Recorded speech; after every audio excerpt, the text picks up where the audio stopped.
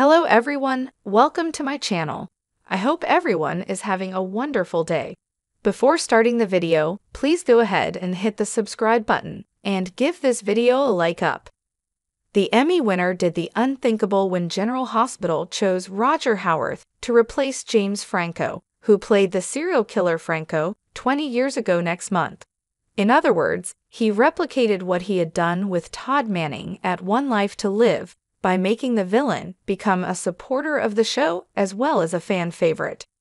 We even supported the show's choice to pair the character with the sweet Elizabeth Webber, of all people.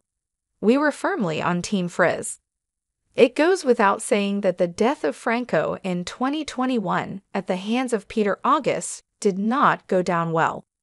It virtually destroyed everything Howarth and the writers had worked so hard on and put an abrupt end to Liz and Franco's romance.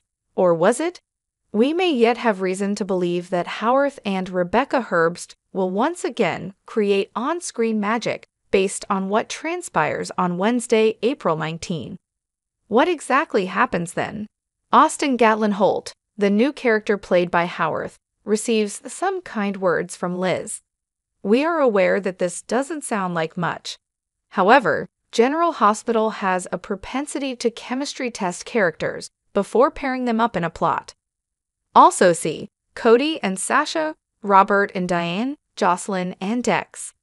And given the chemistry Herbst and Howarth previously created between Liz and Franco, we have a feeling they'll succeed in the test and put the icing on her on again, off again romance with Finn Herbst, for her part, was as perplexed as the rest of us by Frizz's abrupt finale.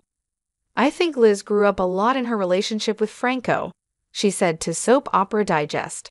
For the first time in her life, she was able to be completely honest with herself, stand up for herself, and have a guy support her. I'm not sure why the authors chose that particular ending, though. Would you be interested in another Herbst Howarth matchup? View the photo gallery below to learn more about Elizabeth's life before proceeding to the comments. Thanks for watching this video. Please subscribe to our channel and stay with us.